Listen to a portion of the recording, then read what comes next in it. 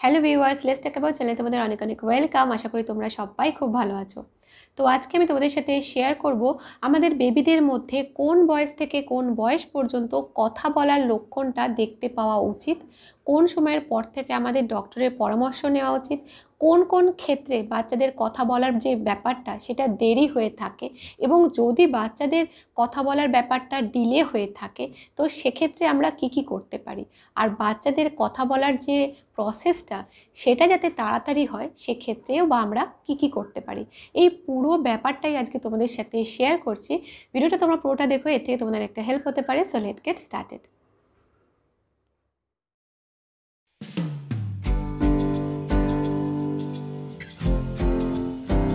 তো দেখো, বাচ্চাদের ডেভেলপমেন্ট বৃদ্ধি, বিকাশ সংক্রান্ত বিভিন্ন বিষয়ের ওপরে কিন্তু আমাদের চ্যানেলে আলাদা আলাদা ভিডিও রয়েছে। কোন বয়স থেকে কোন বয়সে বাচ্চাদের কোন কোন ডেভেলপমেন্ট হওয়া উচিত, কোন বয়সটা পেরিয়ে গেলে অবশ্যই সেই ডেভেলপমেন্টগুলো দেখতে না পেলে ডক্টরের পরামর্শ নেওয়া উচিত, কোন বয়সে কত হাইট হওয়া উচিত কোন কোন বৃদ্ধি বিকাশ ভালোভাবে হওয়ার জন্য কি কি অ্যাক্টিভিটি বাচ্চাদেরকে দিয়ে আমরা করাতে পারি, ইত্যাদি ডেভেলপমেন্ট বা বৃদ্ধি বিকাশ সংক্রান্ত বিভিন্ন রকমের ভিডিও কিন্তু আমাদের চ্যানেলে রয়েছে। তোমরা যারা ওই ভিডিওগুলো দেখোনি, তারা কিন্তু ওই ভিডিওগুলো অবশ্যই দেখে নিও। আজকের ভিডিওটাও কিন্তু বাচ্চাদের গুরুত্বপূর্ণ একটা ডেভেলপমেন্ট বা গুরুত্বপূর্ণ একটা মাইলস্টোনের উপরে। আর সেটা হলো বাচ্চাদের কথা বলা। বর্তমানে বাচ্চাদের মধ্যে একটা সমস্যা দেখতে পাওয়া যাচ্ছে ডেভেলপমেন্টকে ঘিরে। সেটা হচ্ছে বাচ্চাদের কথা বলাটা ডিলে হয়ে যাচ্ছে। যে বয়সে বাচ্চার কথা বলতে পারার কথা সেই সময়টা পেরিয়ে যাচ্ছে। বাচ্চা কথা বলতে পারছে না, শিখছে না। তো এই ব্যাপারটা সম্পর্কেও তোমাদের সাথে আজকে ডিসকাস করব যে এর পিছনে কি কি কারণ থাকতে পারে আর কি কি করলে এই সমস্যা থেকে আমরা বাচ্চাদেরকে বার করে আনতে পারি। তো সবার আগে বলি, বাচ্চাদের কোন বয়স থেকে কোন বয়সের মধ্যে মোটামুটি কিছু কথা বলা উচিত। মানে অন্তত দুটো শব্দ বা দুটো ওয়ার্ড বাচ্চারা বলতে পারবে। দেখো, বাচ্চার বয়স এক বছর হয়ে গেলে মানে বারো মাসের কিছু পর থেকে শুরু করে একুশ মাসের কিছুদিন পর পর্যন্ত এই যে সময়টা, এর মধ্যে কিন্তু বাচ্চাদের দুটো ওয়ার্ড বলতে পারার কথা। মানে বাবা, মামা, এরকম দুটো ওয়ার্ড। বাবা দেবে, মাম্মা আতো বা দাও, দিদি দাও, এই যে দুটো দুটো ছোট ছোট ওয়ার্ড, বা দাদা দিদি, বেবি থাবে মানে খাবে। তো এই যে দুটো দুটো, ছোট ছোট ওয়ার্ড, এই ছোট ছোট দুটো ওয়ার্ড কিন্তু বাচ্চার বয়স এক বছর হয়ে গেলে সেই সময় থেকে শুরু করে একুশ মাসের কিছুদিন পর পর্যন্ত বাচ্চার বলতে পারা উচিত রাইট কোনো বেবি হয়তো এক বছর ক্রস করার পর থেকে এরম বলতে পারে, কোনো বেবি হয়তো পনেরো মাস, চোদ্দ মাসে গিয়ে এরম বলতে পারে, কোনো বেবি হয়তো কুড়ি মাস বা একুশ মাস বয়স হলে তখনও গিয়ে বলতে পারে। এই সময়ের মধ্যে যদি আমরা এই সমস্ত কথা বলা বা কোনো কিছুই বাচ্চা কমিউনিকেট করছে না, এরম যদি হয়ে থাকে এবং একুশ মাস হয়ে গেলে দেখা যাচ্ছে বাচ্চা মোটামুটি দুটো ওয়ার্ড নির্দিষ্ট সময়ের মধ্যে বলতে পারছে।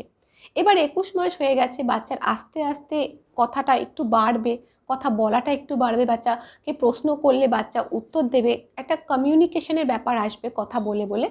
তো এই ব্যাপারটা দেখা যাচ্ছে কোনো কোনো বেবির ক্ষেত্রে একুশ মাস হয়ে গেছে, কিন্তু কোনো ইমপ্রুভ হচ্ছে না। কথা বলার ব্যাপারটা ভালোভাবে আসছে না। তো সেক্ষেত্রে আমরা কি করতে পারি? সেই ব্যাপারগুলি এবার তোমাদের সাথে শেয়ার করছি। ফার্স্টে বলি যে কোন কোন কারণে বাচ্চার কথা বলার প্রসেসটা ডিলে হয়ে যায়, দেরি হয়ে যায়। হ্যাঁ? তো কোন কোন ক্ষেত্রে এরকম হয়ে থাকে সেগুলো এবার তোমাদের সাথে শেয়ার করছি। যে কারণে বাচ্চাদের কথা বলার প্রসেসটা ডিলে হতে পারে। যাদের বেবিদের মধ্যে এই সমস্যা রয়েছে, তারাও এই পয়েন্টগুলো ভালো করে শুনুন। এবং যাদের বেবিরা সবে সবে হয়তো কথা বলা শুরু করছে, তারাও এই পয়েন্টগুলো ভালো করে শুনুন, যাতে আপনারাও সাবধান থাকতে পারেন। তো বেসিক্যালি দুটো কারণের জন্য বাচ্চাদের কথা বলার প্রসেসটা ডিলে হতে পারে। বড় বড় দুটো কারণের জন্য। এক হচ্ছে কিছু শারীরিক কারণ আর দুই হচ্ছে কিছু পরিবেশগত কারণ রাইট তো এক হচ্ছে শারীরিক কারণ, সেই শারীরিক কারণগুলো এখন আমি এক, দুই করে তোমাদের সাথে শেয়ার করছি, যেগুলোর জন্য বাচ্চাদের কথা বলার সমস্যা হয়ে থাকে বা বাচ্চা এখনও কথা বলছে না, এরকম মনে হতে পারে। নাম্বার ওয়ান হচ্ছে বাচ্চার যদি বংশে এই ব্যাপারটা থাকে মানে বাচ্চার বাবা বা মা কেউ হয়তো তার ছোটোবেলাতেও খুব দেরিতে কথা বলতে শিখেছে যদি এরকম হয়ে থাকে, সেক্ষেত্রে কিন্তু বাচ্চার মধ্যে এটা হতেই পারে। যদি এরকম আমরা দেখে থাকি যে আমাদের বাচ্চার মধ্যে কথা বলার প্রসেসটা এখনও শুরু হয়নি, দেরি হচ্ছে, তো সেক্ষেত্রে সবার আগে আমাদের মা বাবা যারা আছেন, তাদেরকে কিন্তু জিজ্ঞাসা করা উচিত আচ্ছা আমার ছোটোবেলায় কি আমি খুব দেরিতে কথা বলতে শিখেছিলাম? যদি এটা আপনি আপনার বাবা মায়ের কাছ থেকে জেনে নিতে পারেন এবং ওনারা যদি বলেন হ্যাঁ তো সেক্ষেত্রে কিন্তু এই ধারাটা আপনার বাচ্চার মধ্যে আসতেই পারে এবং এটা খুবই কমন ব্যাপার। তো বংশগতভাবেও কিন্তু এই ব্যাপারটা হতে পারে এবং এটা সবার আগে আমাদের চেক করা উচিত। এবং এক্ষেত্রে মানে যে বংশে যদি এরকম দেরিতে কথা বলার ব্যাপার থাকে, সেক্ষেত্রে চিন্তার কোনো কারণ নেই। বাচ্চাও কথা বলবে, আপনার বাচ্চাও কথা বলবে এবং একটু সময় লাগছে। দ্বিতীয় যে ব্যাপারটা আমাদের ভেবে দেখতে হবে যে, যদি কোনো বাচ্চা প্রি ম্যাচিওর বেবি হয়, সেক্ষেত্রে তার ডেভেলপমেন্টগুলো কিন্তু একটা ফুল টার্ম বেবির থেকে অনেক দেরিতে দেরিতে হয়। সব ডেভেলপমেন্টই একটু দেরিতে দেরিতে হবে এবং সেই বেবিটির ক্ষেত্রে মানে ওই প্রি ম্যাচিওর বেবিটির ক্ষেত্রে সেটাই স্বাভাবিক।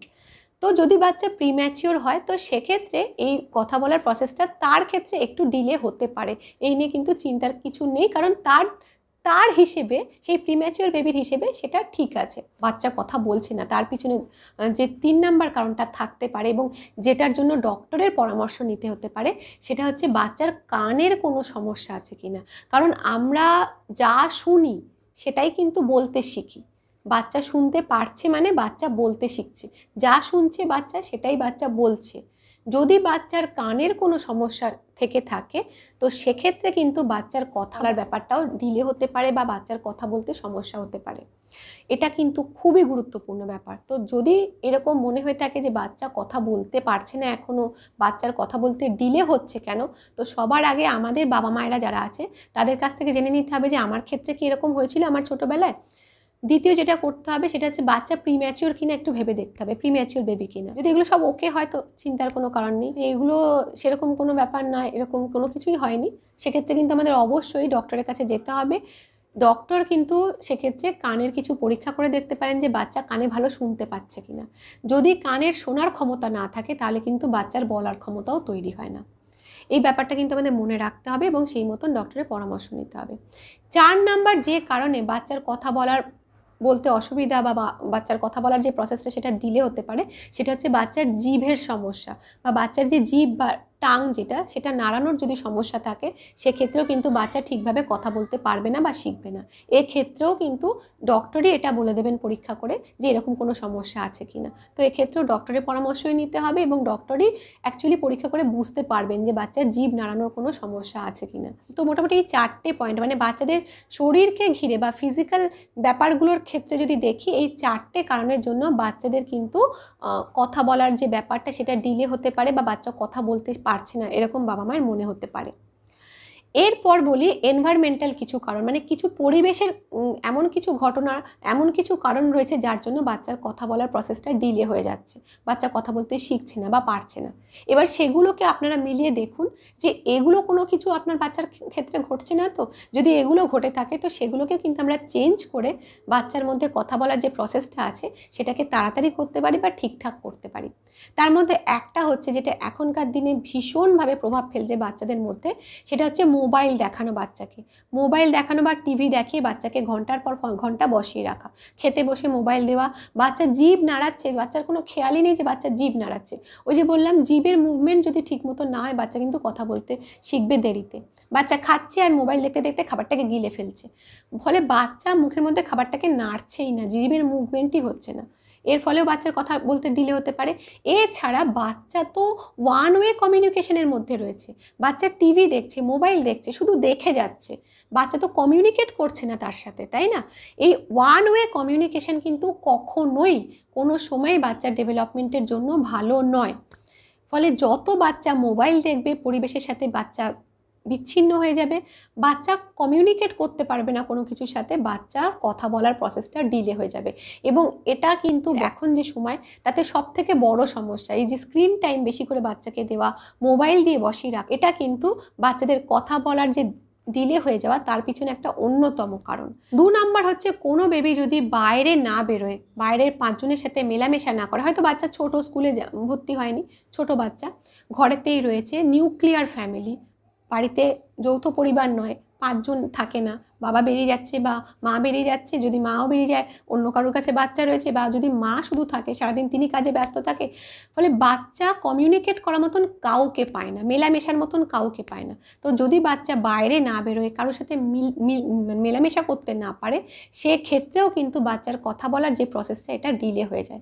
এবং এই এই জন্যেই কিন্তু অনেক ডক্টররাই বলেন নিউক্লিয়ার ফ্যামিলিতে যে সমস্ত বাচ্চারা বড় হচ্ছে, যাদের কথা বলার প্রসেসটা ডিলে হয়ে যাচ্ছে বা কথা বলছে না তাদের কিন্তু প্লে স্কুলে দেওয়ার কথা বলে থাকেন।